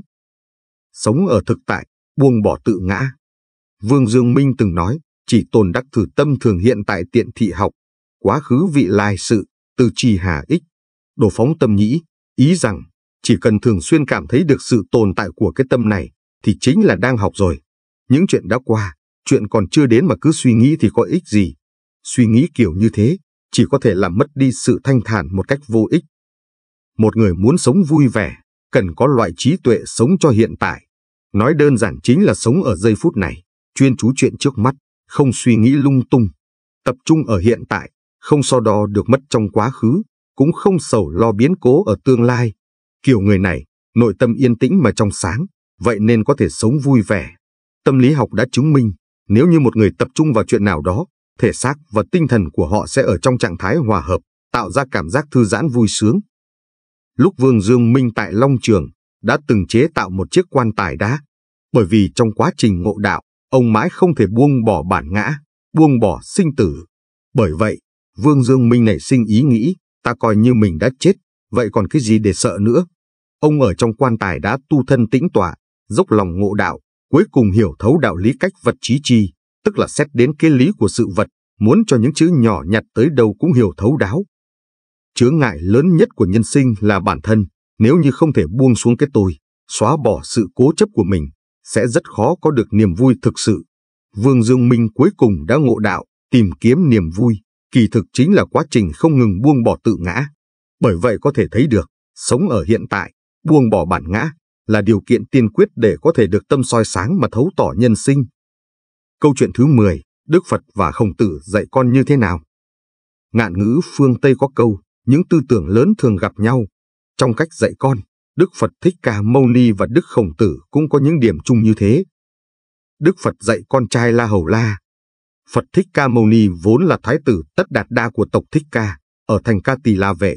Năm ngài 16 tuổi, ngài kết hôn với công chúa Gia Du Đà La. Năm ngài 29 tuổi, sau khi công chúa Gia Du Đà La sinh con trai là La Hầu La, ngài từ bỏ cuộc sống vinh hoa phú quý, rời khỏi kinh thành ra đi tìm con đường giải thoát. Trước giờ cáo biệt, thái tử cũng định bế đứa con đang ngủ một tí, nhưng sợ làm động Gia Du Đà La thức dậy, lại cản trở việc xuất gia. Nên khi nhìn con lần cuối, ngài đã nói, hãy đợi đến khi ta thành Phật, sẽ trở lại thăm con. Sáu năm sau khi Đức Phật rời bỏ gia đình, và một năm sau khi đạt được giác ngộ, Đức Phật trở về Kinh Thành. La Hầu La, lúc ấy 7 tuổi, theo lời mẹ dạy, đã chạy đến bên cha để xin thừa hưởng gia tài. Nếu như ngày xưa Thái tử Tất Đạt Đa không bỏ Kinh Thành ra đi, thì bây giờ La Hầu La đã được truyền ngôi vua. Nhưng là một người đã buông bỏ hết tất cả, sống đời khổ hạnh, Đức Phật có thể trao lại cho con mình cái gì? Đáp lời La Hầu La, Đức Phật quay sang nói với Ngài Xá Lợi Phất, một đồ đệ thân tín của Đức Phật, hãy thâu nhận nó. Như vậy, thay vì được ngôi vua, La Hầu La đã được thừa hưởng con đường đi của cha mình con đường dẫn đến giải thoát. Lúc lên 8 tuổi, La Hầu La đã có lần nói dối. Sau khi tọa thiền xong, Đức Phật đến tìm con. La Hầu La lấy ghế mời cha ngồi, rồi mang đến một thau nước cho cha rửa chân, theo phong tục thời ấy. Sau khi rửa chân xong, Đức Phật hỏi, Này, La Hầu La, con có thấy chút nước còn lại trong cái thau này không? Dạ, còn có thấy La Hầu La thưa. Đời của một người tu cũng chỉ đáng bằng một chút nước này thôi, nếu như người đó cố tình nói dối. Sau đó, Đức Phật hất đổ hết nước trong thau ra và nói, đời của một người tu cũng đáng vứt bỏ đi như vậy nếu như người đó cố tình nói dối. Xong, Đức Phật lật cái thau úp xuống và nói, đời của một người tu sẽ trở nên đảo lộn như vậy nếu như người đó cố tình nói dối. Và, để nhấn mạnh thêm nữa, Đức Phật lật ngửa cái thau trở lại và nói, đời của một người tu cũng trở nên trống rỗng như cái thau này nếu như người đó cố tình nói dối. Sau đó Ngài dạy con, đối với một người cố tình nói dối, không có một tội lỗi xấu xa nào mà người đó không thể làm. Vì vậy, La Hầu La, con hãy tập đừng bao giờ nói dối, cho dù đó là một lời nói đùa. Cái gương dùng để làm gì? Ngài hỏi. Bạch Đức Thế Tôn, gương dùng để soi La Hầu La đáp. Đức Phật lại dạy, trong khi chuẩn bị làm điều chi bằng thân, khẩu, ý, con phải quán chiếu, hành động này có gây tổn hại cho mình hoặc cho kẻ khác không? Nếu, sau khi suy xét, con thấy rằng hành động đó sẽ có hại, thì con hãy đừng làm. Còn nếu con thấy rằng hành động đó có ích lợi cho con và cho kẻ khác, thì con hãy làm. Sau này La Hầu La nỗ lực học tập, tu luyện tinh tấn và khai ngộ chứng quả La Hán. Khổng tử dạy con trai bá ngư. Thúc lương ngột, làm quan đại phu nước lỗ, là thân phụ của Đức Khổng Tử. Năm Khổng Tử lên 3 tuổi thì cha mất. Ngài sống với mẹ trong cảnh nhà nghèo. Năm 20 tuổi, vợ ngài sinh con trai. Hôm đó, Lỗ Chiêu Công sai đem đến ban cho ngài một con cá chép, Lý Ngư, nên nhân đó, ngài đặt tên con là Lý, tự là Bá Ngư. Ngài mở lớp dạy học, truyền bá tư tưởng nho gia, nhân, nghĩa, lễ, trí, tín, khôi phục lại nền đạo đức, lễ nhạc thời Chu Công, Văn Vương, học trò khắp các nước tìm đến ngài bái sư, có ba nghìn học trò. Bá Ngư, con trai của ngài cũng là một trong số 3.000 học trò đó. Câu chuyện ngài dạy con được ghi lại trong luận ngữ như sau. Trần Cang hỏi bá ngư rằng, anh có nghe được thầy dạy điều gì khác không? Bá ngư trả lời, chưa. Có lần thầy đứng một mình, tôi dạo bước qua sân. Thầy hỏi, học kinh thi chưa? Tôi đáp, chưa ạ. Thầy nói, không học kinh thi, thì lấy gì để nói năng? Tôi lui ra và từ đó bắt đầu chăm chỉ học kinh thi. Một hôm khác, thầy lại đứng một mình, tôi rảo bước qua sân. Thầy hỏi, đã học lễ chưa? Tôi đáp, chưa ạ. Thầy nói, không học lễ, lấy gì mà lập thân? Tôi lui ra và từ đó bắt đầu chăm chỉ học lễ. Tôi chỉ nghe được hai lần đó như thế thôi. Trần Cang lui ra, vui mừng nói, tôi hỏi một mà đắc được ba điều, biết được kinh thi có tác dụng như thế nào, biết được kinh lễ có tác dụng như thế nào, lại biết người quân tử giữ khoảng cách với con, coi như học trò bình thường khác. Khổng tử đánh giá nội dung của kinh thi rằng, kinh thi có 300 bài thơ, chỉ một câu là quán thông nội dung, đó là không nghĩ tả. Khổng tử dạy học trò rằng, đệ tử nhập tắc hiếu, xuất tắc đễ, cẩn nhi tín, phiếm ái chúng nhi thân nhân, hành hữu dư lực tắc dĩ học văn, dịch nghĩa, ở nhà thì hiếu thảo với cha mẹ, ra ngoài thì kính nhường bậc huynh trưởng, thận trọng lời nói mà giữ chữ tín, yêu khắp mọi người mà gần gũi người nhân đức, làm được đến vậy rồi mà còn dư sức thì hãy học văn tức học thi, thư, lễ, nhạc, dịch. Tư tưởng lớn gặp nhau, sự tương đồng về cách dạy con của Đức Phật và Khổng Tử. Ngạn ngữ phương Tây có câu, những tư tưởng lớn thường gặp nhau, great means thing alike, Chốn nhân gian, tư tưởng, trí huệ vĩ đại nhất chính là của các bậc giác giả, thánh nhân, Đức Phật và Khổng Tử, tuy cảnh giới khác nhau, để tâm độ nhân khác nhau, theo con đường khác nhau, nhưng đều có rất nhiều điểm tương đồng. Chỉ xét riêng về phương thức giáo dục con cái cũng đã thấy những điểm giống nhau đó. Thứ nhất, các ngài đều không gần gũi con. Đức Phật xuất gia khi con trai mới sinh. Khổng tử không xuất gia, nhưng cũng giữ khoảng cách với con trai. Tuy ở cùng nhưng hầu như cha con chẳng gặp nhau. Bá ngư chỉ có hai lần đi ngang qua sân gặp khổng tử. Ngài nhân cơ hội đó gợi mở cho con, khuyên con học kinh thi và kinh lễ. Đạo lý này thời hiện đại sẽ không thể hiểu được, sẽ cho rằng các ngài là vô tình. Kỳ thực, nó chứa đựng ý nghĩa sâu xa. Thuở xưa, trách nhiệm nuôi dạy con cái, gần gũi, tình cảm với con chính là người mẹ. Người cha ngoài trách nhiệm nuôi gia đình, hướng dẫn vợ con, thì trách nhiệm chính là đối với xã hội. Nho gia thì tu thân, tề gia để trị quốc và bình thiên hạ. Phật gia thì chỉ giới, thiền định, để khai ngộ, độ kỳ độ nhân, từ bi phổ độ chúng sinh. Ngoài ra, để giáo dục trẻ, cũng nên để trẻ tự lập, biết tự suy nghĩ, tự hành động, tự chịu trách nhiệm. Người cha chỉ hướng dẫn, trông coi để tránh con cái lầm đường lạc lối. Người mẹ gần gũi tình cảm, thì cần người cha uy nghi nghiêm khắc, có nhu có cương, thì mới dạy dỗ trẻ em hữu hiệu. Chính vì vậy mà trong chu tử trị ra cách ngôn có khuyên rằng, thân cận trẻ danh, lâu ngày lụy bản thân. Thứ hai, các ngài đều nghiêm khắc hướng con từ rất sớm đi theo con đường đạo đức, trở thành người chân thật, chính trực, thiện lương. Thứ ba, các ngài đối xử với con mình không khác gì với các đệ tử khác, tất cả đều bình đẳng như nhau. Đối với các ngài, mọi chúng sinh đều bình đẳng, đều tùy duyên hóa độ, không có sự phân biệt ruột thịt hay người dưng, người quen hay kẻ lạ, kẻ sang hay người hèn. Thứ tư, các ngài đều hướng cho con đi theo con đường học đạo, theo bước chân các ngài, nhưng các ngài đều không ép buộc, đều không mong cầu, mà tùy kỳ tự nhiên, tùy duyên hóa độ, tùy căn cơ giáo hóa. Lạ hầu la sau đắc đạo khai ngộ chứng quả La Hán. Bá Ngư không có thành tựu xuất sắc, nhưng ông nắm được phương pháp giáo dục con của cha. Sau đó ông đã áp dụng dạy con trai là khổng cấp, tự tử tư. Tử tư đã kế thừa được sự nghiệp của ông nội, trước tác sách Trung Dung, là một trong tứ thư kinh điển nho gia. Câu chuyện thứ 11, trí tuệ Vương Dương Minh, phá giặc trong núi thì dễ, phá giặc trong tâm mới khó. Dương Minh cho rằng, phá giặc trong núi dễ, phá giặc trong tâm khó. Chỉ diệt trừ hành vi trộm cắp thì có gì đáng kể. Nếu như có thể tiêu diệt được kẻ cướp trong tâm, thì đó mới chính là thành tựu lớn nhất của bậc đại trượng phu. Vương Dương Minh, còn gọi là Vương Thủ Nhân, là một trong những nhà triết học vĩ đại nhất trong lịch sử Trung Quốc. Triết học của ông không phải triết học không tưởng trong thư phòng, đó là thứ triết học thực tế hữu dụng, áp dụng vào chính trị. Vương Dương Minh có thể gọi là chính trị gia hàng đầu, những đối thủ tranh đua với ông cho dù mạnh mẽ thế nào cuối cùng cũng chịu thất bại, áp dụng trong chiến tranh, Vương Dương Minh là một nhà quân sự đáng sợ nhất, có sức mạnh vô địch. Tháng riêng năm chính đức thứ 13, Vương Dương Minh trước khi tấn công Sơn Tặc đã viết thư cho đệ tử Tiết Khản như sau, hôm nay đã đến Long Nam, ngày mai sẽ tiến vào xào huyệt của quân địch, binh lính từ bốn phía đã đổ về theo kế hoạch, những tên cướp ắt sẽ bị triệt hạ. Tuy nhiên, phá giặc trong núi dễ, phá giặc trong tâm khó, chỉ diệt trừ hành vi trộm cắp thì có gì đáng kể. Nếu như có thể tiêu diệt được kẻ cướp trong tâm, thì đó mới chính là thành tựu lớn nhất của bậc đại trượng phu. Giặc ở trong tâm, hoành hành chỉ trong một tấc nhưng lại vi phạm đạo trời, nghịch với tình người, có thể được xem là tai họa của nhân tâm. Kia gọi là giặc ở trong tâm, nói chung thì có giặc danh, giặc lợi, giặc quyền, giặc sắc, cũng có các loại giặc như được và mất, vinh và nhục, lợi và hại, sống và chết. Lòng người vốn đã có rất nhiều kẻ trộm, vậy chúng ta nên làm thế nào để dẹp yên chúng? Vương Dương Minh cho rằng có ba cách để phá giặc trong tâm. Thứ nhất là ngồi yên. Cái ngồi yên mà Dương Minh nói, một mặt là bởi lòng người ham muốn theo đuổi vật chất, chỉ mong cầu công danh, tư lợi, quyền cao, sắc đẹp, cho nên muốn thông qua việc ngồi yên mà tìm lại cái tâm đã bị đánh mất. Mặt khác, thông qua việc tính tọa để truy tìm và quét sạch những ham muốn về công danh, sắc đẹp, ra khỏi tâm mình.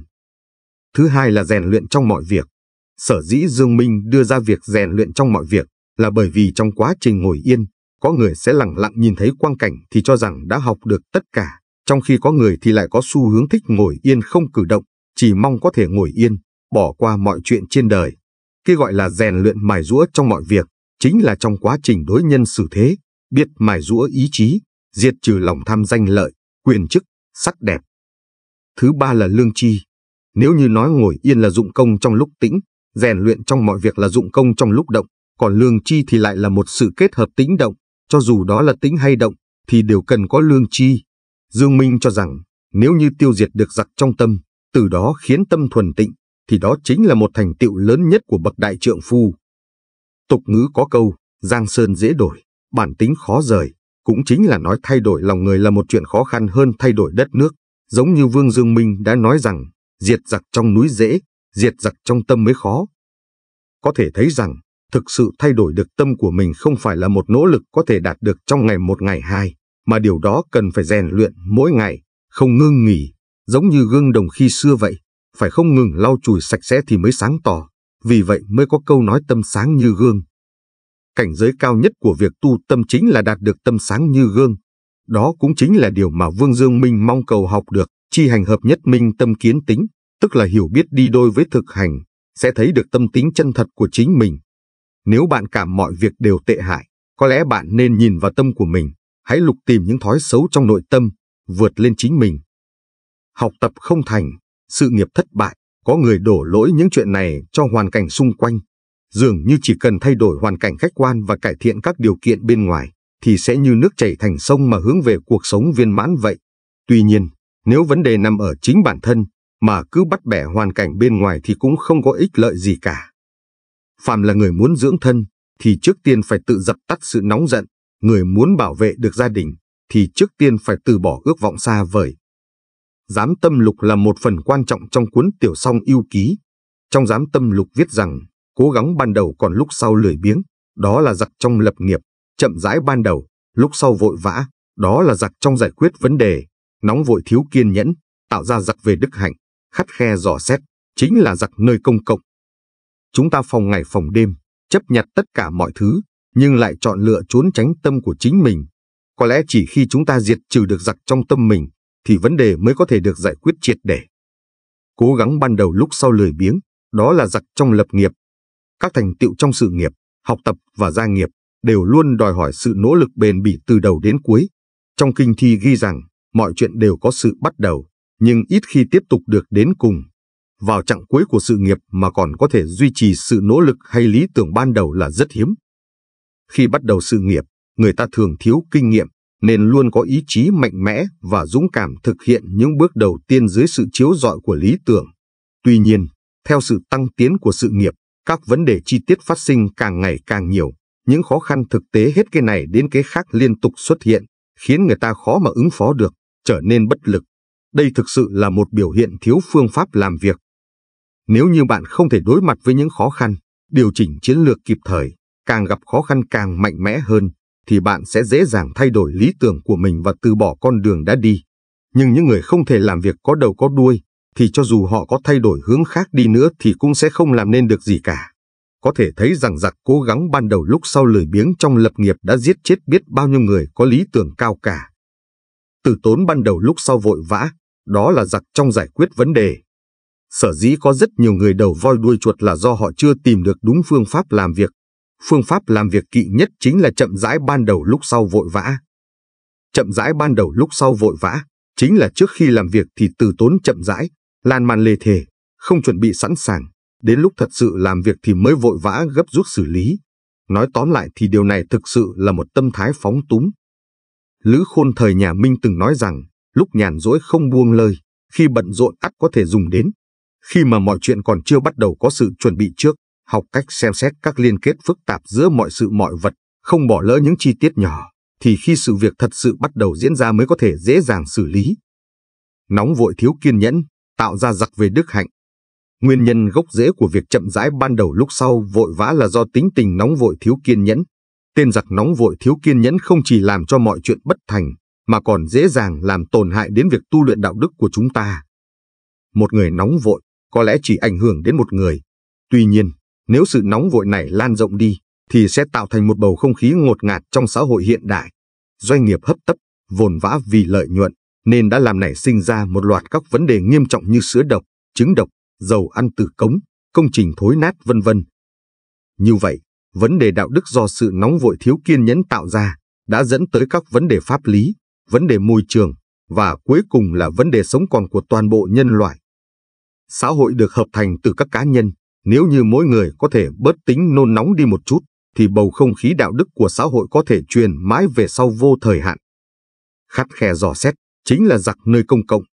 Những người nóng vội dễ dàng cư xử, ăn nói với người khác một cách khắt khe giận dữ. Bởi vì lòng không yên, cho nên họ tỏ ra khắt khe dò xét với người khác.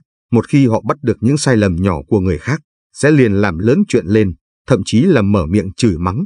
Điều này chắc chắn không phải là phép tắc đúng mực ở nơi công cộng. Một người với ánh nhìn dò xét xem thường người khác, trong mắt người khác họ giống như vua chúa thiên hạ vậy, không ai dám đắc tội. Vì vậy, những người như vậy dường như có một sự uy nghi. Nhưng những người chỉ biết dùng biểu cảm khuôn mặt để đánh giá người khác như vậy, về cơ bản mà nói chỉ là những người tu vi chưa đủ mà thôi. Họ chỉ giống như một bình nước chỉ đầy một nửa, tự mãn đắc ý, không biết tự xem xét lại bản thân. Theo thời gian, những người xung quanh đều sẽ nhìn thấy được điều này ở họ, rồi họ còn có thể tìm được người bạn tri kỷ nào nữa không? Nghiêm ngặt với bản thân, khoan dung với người khác xưa nay luôn là phương pháp ứng xử xã hội đúng đắn. Nếu muốn sự việc thành công, nhiều khi điều cốt yếu không nằm trong chính sự việc đó, mà là do bản thân người thực hiện sự việc. Cố gắng ban đầu lúc sau lười biếng, chậm rãi ban đầu lúc sau vội vã, nóng vội thiếu kiên nhẫn, khắt khe dò xét, liệu rằng có bao nhiêu người không thể vượt qua những chướng ngại đó. Diệt giặc ở núi thì dễ, diệt giặc trong lòng mới khó, điều đáng quý của con người chính là có thể đối đầu với khó khăn mà bước tiếp. Câu chuyện thứ 12, lão tử sinh ra đã bước đi 9 bước, chín đóa sen nở dưới vết chân. Lão tử còn gọi là lão đam, họ lý, tên nhĩ, tự bá dương, là một triết gia, nhà tư tưởng, người sáng lập học phái đạo gia thời Trung Quốc cổ đại và là tác giả của cuốn đạo đức kinh nổi tiếng. Lão Tử là người tương ấp, nước Tống, nay là Oa Dương, tỉnh Hà Nam, cũng có thuyết cho rằng ông là người lộc ấp, Hà Nam. Ông đã từng làm chức quan thủ tàng thất, quan quản lý tàng thư của Triều Chu. Bắt đầu từ liệt tiên truyện, Lão Tử được liệt vào bậc thần tiên.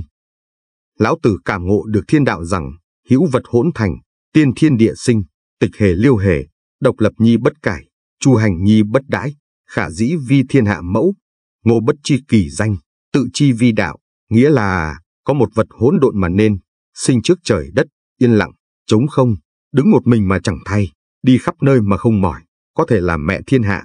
Ta không biết tên nó, đặt tên là đạo. Lão Tử cũng ngộ ra, nhân pháp địa, địa pháp thiên, thiên pháp đạo, đạo pháp tự nhiên, nghĩa là người thuận theo đất, đất thuận theo trời, trời thuận theo đạo, đạo thuận theo tự nhiên, Ông cho rằng vạn sự vạn vật đều phải tuân theo đặc tính và quy luật vận hành không ngừng nghỉ của vũ trụ.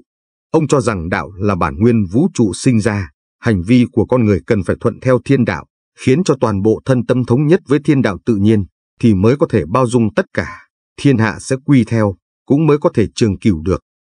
Lão tử chào đời. Theo liệt tiên chuyện ghi chép, thời nhà Chu, lão tử từ thái thanh tiên cảnh phân thần hóa khí, thừa nhật tinh, cưỡi chín rồng, hóa thành chuỗi hạt chân châu ngũ sắc, từ trên trời giáng hạ. Lúc đó con gái của huyền diệu vương là Doãn Thị đang ngủ, cảm thấy và nuốt chuỗi hạt châu, tỉnh dậy có mang. Sau khi có thánh thai, Doãn Thị thần khí an nhàn, dung nhan chuyển thành thiếu nữ, phòng ở lục khí bình hòa, tường quang phủ khắp. Sau đó từ sườn trái sinh hạ một bé trai. Cậu bé này khi vừa mới sinh ra liền bước đi chín bước, mỗi bước có đóa sen nở. Cậu sinh ra là đã biết nói, chỉ vào cây mận, lý, ở trong sân, cậu nói, đây là họ của ta.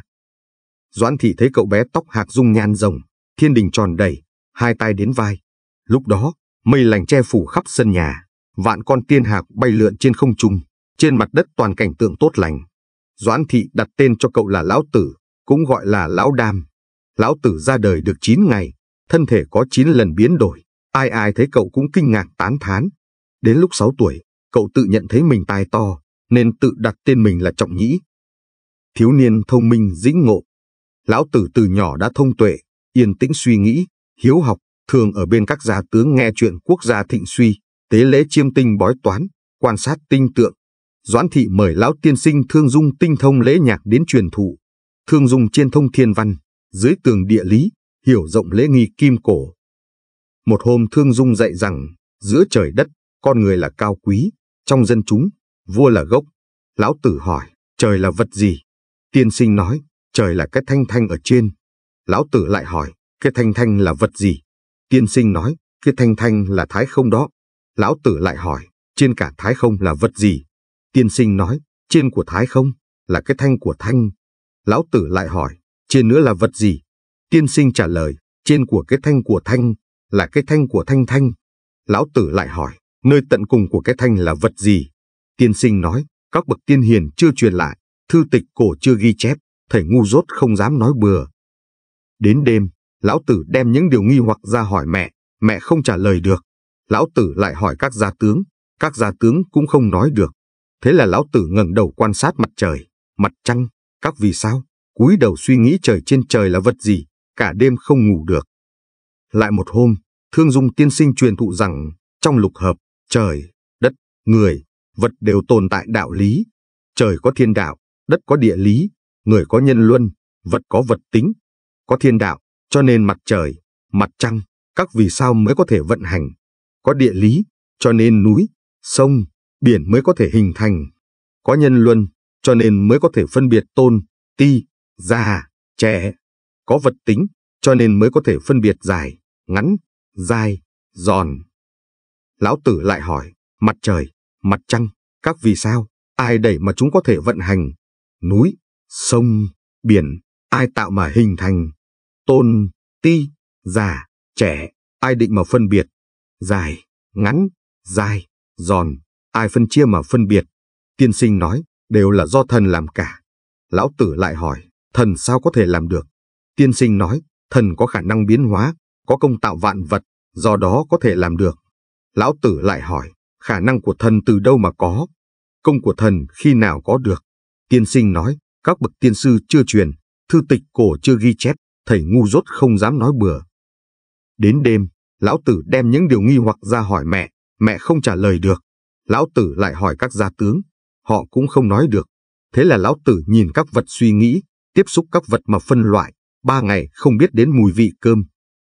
Một hôm, Thương Dung tiên sinh truyền thụ rằng, các việc thiên hạ, hòa là quý. Thất hòa thì sẽ có binh đao, có binh đao thì sẽ có tàn sát lẫn nhau, tàn sát lẫn nhau thì cả hai bên đều bị thương, hai bên đều bị thương thì có hại mà chẳng có lợi ích gì. Do đó, lợi cho người thì sẽ lợi cho mình, gây họa cho người thì sẽ gây họa cho chính mình. Lão Tử hỏi, thiên hạ thất hòa là cái hại lớn cho bách tính, vua sao không trị sửa?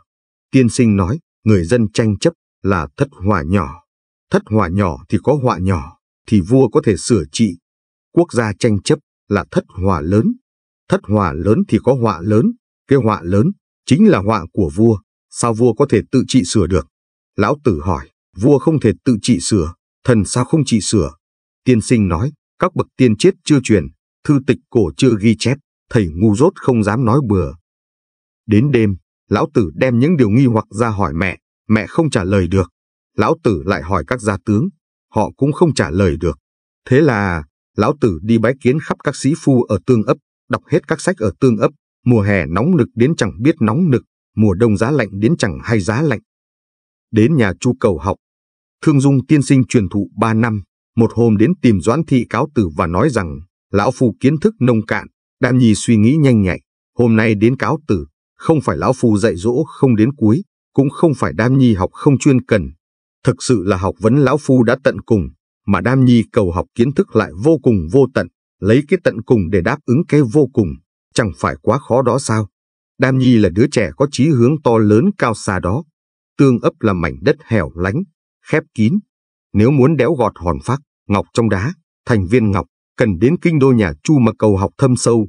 Kinh đô nhà Chu, thư tịch điển cố nhiều như biển, bậc hiền sĩ nhiều như mây, là thánh địa của thiên hạ, không đến đó thì khó mà trở thành bậc tài năng lớn được. Doãn thị nghĩ, lão tử mới ở tuổi 13, đến kinh đô nước Tống còn khó về, đến kinh đô nước Chu, chẳng phải như lên 9 tầng trời đó sao? Thương Dung vội nói, cũng xin nói sự thực, sư huynh của lão phu làm thái học bác sĩ nhà Chu, học thức uyên bác, tấm lòng mênh mông, yêu quý kính trọng bậc hiền tài, coi việc đào tạo nhân tài là mục đích sống, coi việc giúp người hiền tài là niềm vui, coi việc tiến cử hiền tài làm là trách nhiệm. Trong nhà ông có nuôi mấy thần đồng, đều chọn từ trong dân gian ra, không phải cung cấp ăn mặc, ông coi như con ruột. Bác sĩ nghe lời lão phu, biết Đam Nhi hiếu học giỏi suy nghĩ sâu xa, thông tuệ siêu thường, muốn gặp đã lâu rồi. Mấy ngày trước có mấy người đẩy tớ đi qua đây, ông đã viết thư riêng cho lão phù ý muốn đưa Đam Nhi đến Chu. Đây là cơ hội tốt ngàn năm khó gặp, nên biết trân quý. Hai mẹ con Doãn Thị vô cùng cảm kích, bái tạ ơn tiến cử của tiên sinh. Lão Tử đến Chu, bái kiến bác sĩ. Lão Tử được vào học ở Thái học, thiên văn, địa lý, nhân luân, không gì là không học, văn vật, điển chương, sử sách, không gì là không đọc. Sau ba năm đã có trưởng thành rất lớn, bác sĩ lại tiến cử lão tử làm viên thư lại trông coi thủ tàng thất. Thủ tàng thất là nơi thu thập lưu giữ các thư tịch điển tích nhà Chu, tập hợp văn khắp thiên hạ, thu thập sách khắp thiên hạ, chở bằng xe châu đổ mồ hôi, cất giữ chất thành đống, không gì là không có. Lão tử ở trong đó, như dao long bơi lội biển cả, biển mênh mông, rồng vùng vẫy, như chim đại bàng tung cánh trời xanh, trời cao mặc sức bay lượn. Lão tử như đói như khát, xem hết các thư tịch, cảnh giới càng ngày càng cao, thông hiểu cội nguồn của lễ nhạc, hiểu rõ ý nghĩa sâu xa của đạo đức. Ba năm sau lại được thăng làm quan cai quản thủ tàng thất, danh tiếng khắp xa gần, tiếng tăm truyền khắp cõi. Khổng tử hỏi về lễ. Một hôm, khổng tử nói với đệ tử là Nam Cung Kính Thúc rằng, quan cai quản thủ tàng thất nhà Chu là Lão Đam, bác cổ thông kim, tỏ tường cội nguồn của lễ nhạc, hiểu rõ ý nghĩa sâu xa của đạo đức. Này ta muốn đến nước Chu xin thỉnh giáo, còn có muốn đi cùng không? Nam Cung Kính Thúc vui mừng đồng ý, lập tức báo lên Lỗ Quân xin phép. Lỗ Quân đồng ý cho đi, cho một cỗ xe song mã, một tiểu đồng theo hầu, một người đánh xe, còn Nam Cung Kính Thúc thì tháp tùng khổng tử cùng đi. Lão tử thấy khổng tử từ xa xôi ngàn dặm tìm đến, vô cùng vui mừng. Sau khi lão tử truyền thụ xong, lại dẫn khổng tử bái kiến đại phu Trường Hoàng. Trường Hoàng giỏi âm nhạc, dạy khổng tử nhạc luật, nhạc lý, rồi dẫn khổng tử xem lễ tế thần, khảo sát nơi truyền thụ giáo hóa, quan sát lễ nghi thái miếu, khiến khổng tử thu được rất nhiều lợi ích. Lúc khổng tử cáo từ trở về, lão tử tiến đến bờ sông Hoàng Hà, thấy nước sông chảy cuồn cuộn, khổng tử bất giác than thở rằng, thời gian như nước chảy thế này đây, ngày đêm chẳng ngừng. Nước sông chẳng biết đi đến nơi nào, nhân sinh chẳng biết quay về chốn nào. Học trò vẫn lo đạo lớn không thi hành được, nhân nghĩa không được thực thi, chiến loạn không ngừng, quốc gia loạn lạc rối ren. Do đời người ngắn ngủi, chẳng có công lao gì cho đời, chẳng giúp ích được gì cho dân chúng, nên thương cảm mà than thở vậy. Lão tử chỉ dòng sông Hoàng Hà mênh mông cuồn cuộn chảy, nói với khổng tử, sao ông lại không học đức lớn của nước vậy? Khổng tử hỏi, nước có đức gì? Lão tử nói, cái thiện cao nhất như nước vậy, nước khéo làm lợi cho vạn vật mà không tranh, đó là đức khiêm hạ. Cho nên sông biển sở dĩ có thể làm vua của trăm suối ngàn khe, là vì nó khéo ở chỗ thấp, nên biển mới làm vua muôn sông. Trong thiên hạ, không gì mềm yếu hơn nước, nhưng những cái cứng rắn, bền chắc, không gì có thể thắng được nước, đó là đức ôn nhu. Cho nên, nhu thắng cương, nhược thắng cường, nghĩa là mềm thắng cứng, yếu thắng mạnh. Ông nên ghi nhớ, không tranh với đời, thì trong thiên hạ không có người nào tranh với mình, đó là học theo đức của nước đó.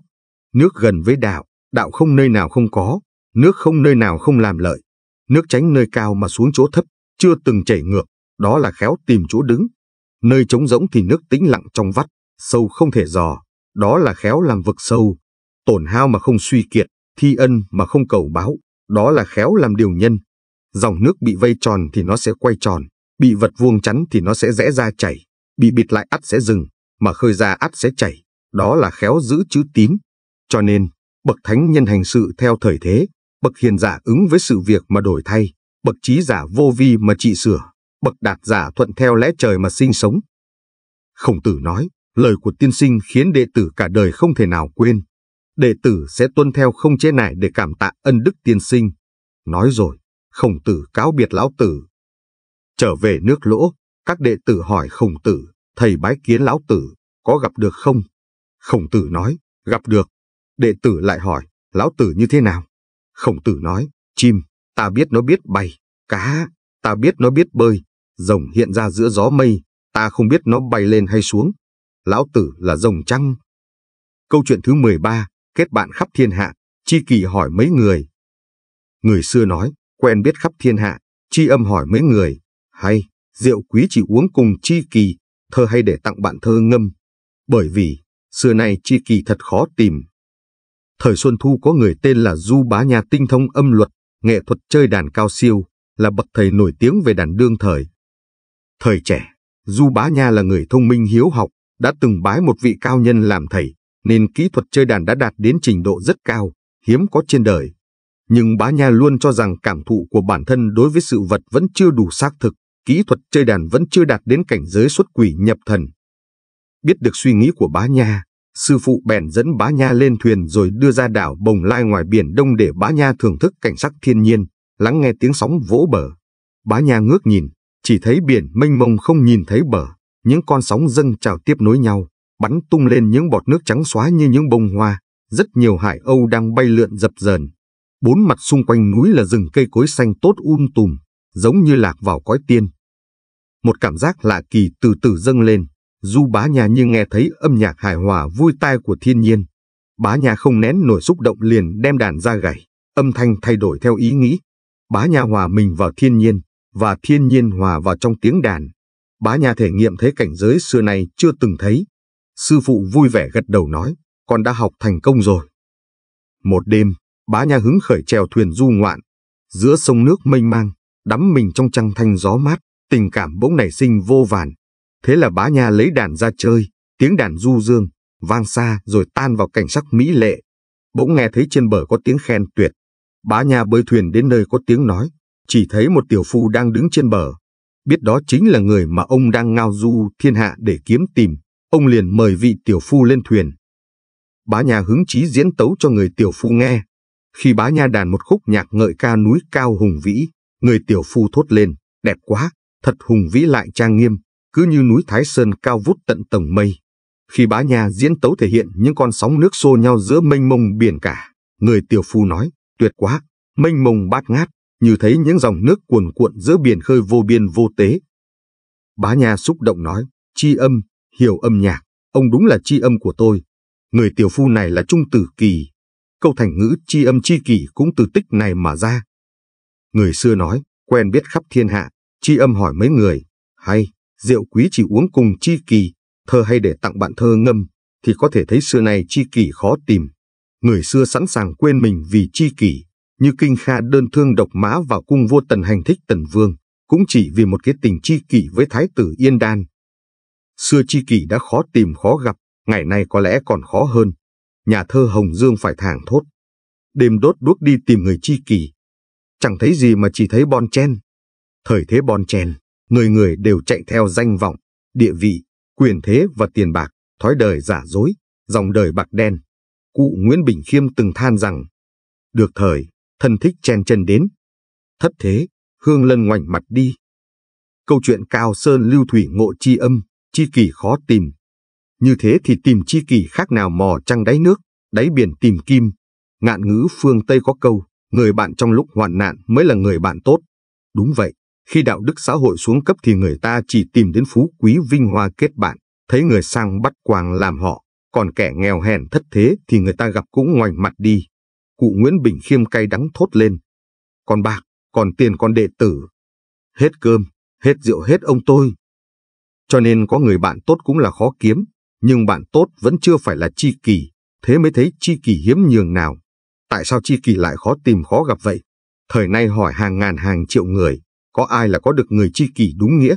Chi kỷ vô cùng hiếm vì để trở thành người chi kỷ thì phải có hai điều kiện, là người quân tử và là người thấu hiểu. Là người quân tử, chính là người nhân đức, nghĩa khí, vì người khác, coi nhẹ bản thân, coi thường tư lợi, trọng nghĩa khinh tài. Người quân tử chắc chắn sẽ là người bạn tốt, sẽ không bao giờ bỏ rơi bạn bè khi có hoạn nạn. Họ cũng không phân biệt địa vị danh vọng, sang hèn phú quý, vì họ chỉ coi nhân đức, nghĩa khí, thành tín mới là quan trọng nhất, mới là lẽ sống của cuộc đời. Người thấu hiểu là người có tâm hồn nhạy cảm, đồng điệu và cùng chung một số sở thích, lý tưởng tương đồng, đồng thanh tương ứng, đồng khí tương cầu, những người có khí chất, tài năng, tâm hồn, cảnh giới tương đồng thường dễ đồng cảm và thấu hiểu, giống như hiện tượng cộng hưởng trong vật lý, khi hai vật dao động ở cùng tần số. Buông bỏ cái tôi, suy nghĩ cho người sẽ đạt đến tiêu chuẩn người quân tử. Lắng nghe, cảm nhận, đặt mình vào vị trí của người mà suy nghĩ thì sẽ đạt được tiêu chuẩn của người thấu hiểu. Chi kỷ khó tìm, cũng do chính chúng ta chưa đạt được tiêu chuẩn của người chi kỷ, nên tần số dao động của chúng ta vẫn đang lệch pha với người chi kỷ ở đâu đó quanh ta, khiến chúng ta chẳng thể tìm ra. Do đó, chỉ cần điều chỉnh bản thân mình thì chi kỷ sẽ ở ngay trước mắt. Cảm ơn quý vị và các bạn đã dành thời gian lắng nghe hết video của chúng tôi. Kính chúc quý vị và các bạn một đời bình an và hạnh phúc. Còn bây giờ, xin được kính chào tạm biệt và hẹn gặp lại quý vị và các bạn ở những video tiếp theo.